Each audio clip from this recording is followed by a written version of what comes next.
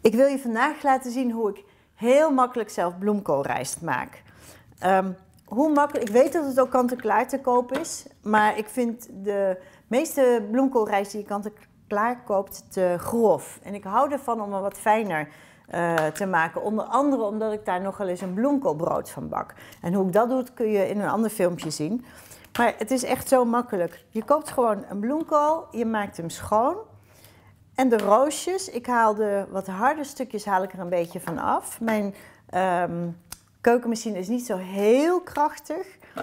Je kunt ze ook gewoon in kleine stukjes snijden, dat doe ik ook wel eens, maar dan moet je hem even een beetje helpen.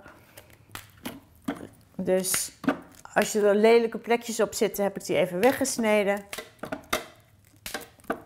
Zo. Hoppa. Het wil er allemaal in. Bloemkoolroosjes in je keukenmachine. En draai je maar. Dat is het eigenlijk. Gaat-ie.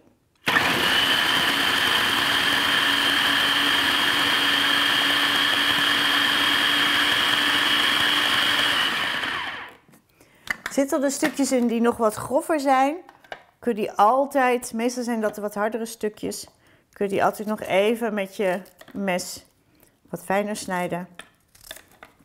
Over het algemeen gaat dit gewoon helemaal prima.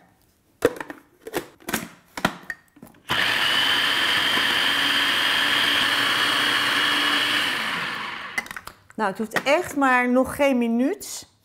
En uh, nou, je ziet, je hebt echt bloemkool die eruit ziet als rijst. En je kunt het ook eigenlijk op die manier gebruiken. Alleen je hoeft natuurlijk niet meer te koken.